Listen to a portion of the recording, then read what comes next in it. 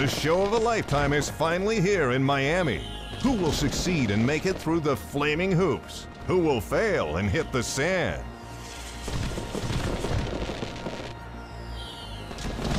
Ten, nine, eight, seven, six,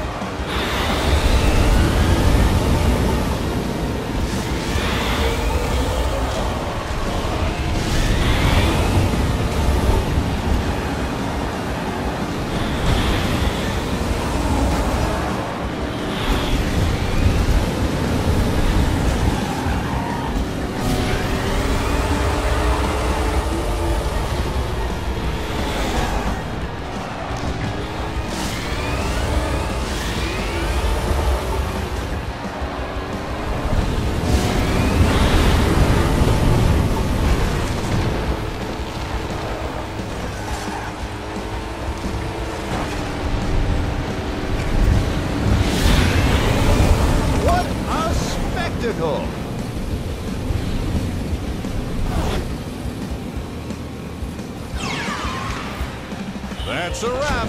Congrats to the winner.